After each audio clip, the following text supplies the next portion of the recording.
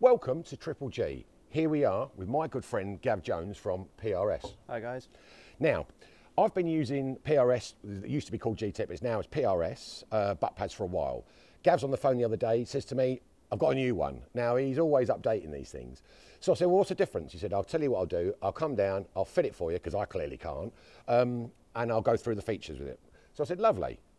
Over to you. Show me what this can do that the other one can't. Well, very similar to your current setup you've got on the TM. Yeah. Um, new version, Gen 3, with a lot of material taken out, make it nice and light. Uh, some geometry changes on the arms here. Yeah. And then obviously you've got the new setup with the monopod and See- bag rider. Right. What's all that about? The bag rider for you, Rog. Oh, show how that works. your then. bench rest, we have a bag rider. Ah, now, you've made these in the past for the FX guys, yeah, and a lot of the top boys, all these top FX shooters, are using this, yeah, and I, I understand why. Have they got the bag rider? They haven't. Oh. This is the uh, new Oh, model. yeah. Nobody likes to see that, do they? I do. Right. Um, so that's the bag rider. What about the up and downy bit? Well, I'm very technical. Seriously. same idea. Adjustable as always. Right there. Now that is the same as the FX. So they've got that. It is. They have that, but they don't have the option of a bag rider that you have Oh. that can be uh, removed.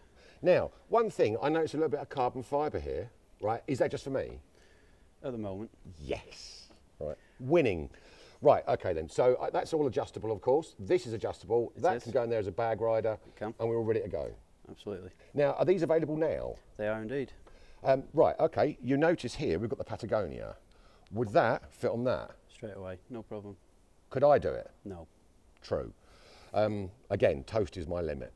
So these fit all the uh, all the uh, Daystates Yes, and all the Brococks. absolutely.